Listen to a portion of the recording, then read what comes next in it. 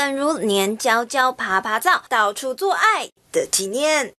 一看就是一个文青的，非常有气质，非常适合这个书店这样形象。诗人快把孟耿如捧上天啦！经他出席杂志记者会，因为长洋装开的有点 V，记者只能从这条细缝里找梗。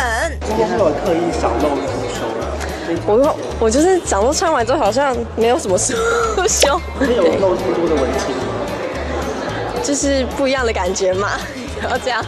哎呀，不要欺负孟耿如啦，她穿这套是有原因的。今天特别选了那个长裙，因为最近要拍那个新戏，在练习舞蹈，然后就是摔的 全身手手这边也都是。